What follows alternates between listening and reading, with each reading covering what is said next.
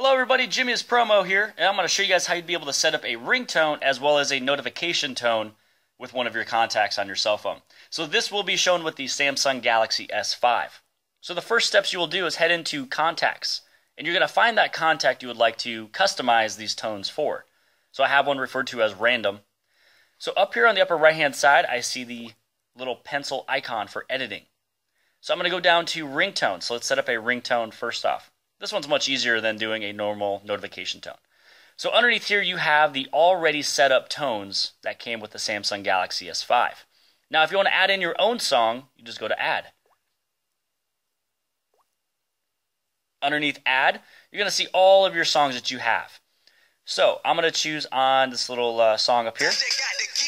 And one of the things you'll notice is you have auto recommendations. Or if you uncheck it, it'll start it from the very beginning. So I'm going to do auto recommendation.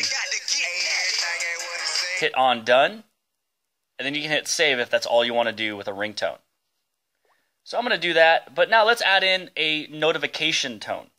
So underneath notification tones, you want to go back to the edit icon. And this is where you do add another field. Underneath here, you're going to notice where it says message tone. So I'm going to hit on OK. So this is where you choose message tone. And underneath here, this is the preset tones for the Samsung Galaxy S5. Now here's the thing. All of these tones here is all that you have. And there's no add icon. So this is what we're going to do. I'm going to head out of here after I save this. I'm going to head into my apps. And then this is where my files is at. What you're going to look for inside of my files is go to audio. And this is where all of my songs are at. So let's say that I want to get on um, this song right down here. So I'm going to press and hold, and once it's check marked, I'm going to hit on the menu icon and copy.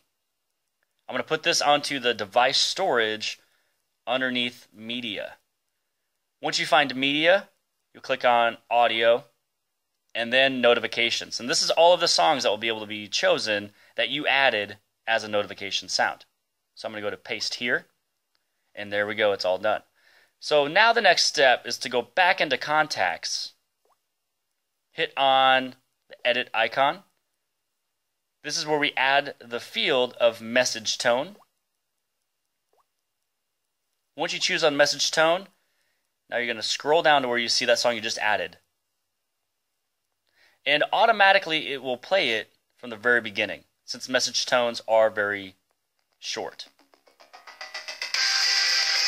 Once you hit OK, now you hit save, and now you have just saved a ringtone as well as message tone. So now you're going to ask yourself, well, that's really cool, Jimmy, but I want to be able to have a certain part of the song play when this person sends me a text message. All right, well, this is what you're going to want to do. Head onto the Play Store and download any of the applications to where you'd be able to do an MP3 cut or edit. So I'm going to go underneath my audio again and head down to where that song is. So when I choose on this option underneath my files, it's going to show me where I can play it underneath Google Play Music. Then here's my MP3 cutter player. This is the application I downloaded from the Play Store. Or you can play it off of the stock MP3 player on the Samsung Galaxy S5. So I'm going to open it up with the MP3 cutter. And as it's playing, I'm going to choose on the cut option on the upper left hand side. So now, let's say I want to have it right there move this on over. We'll see what this sounds like. Now that sounds great. Now I just want it to be a little shorter. I think that'll be good enough. So once that person is to send me a text message, I'm going to click on save. And now it's saved as a ringtone.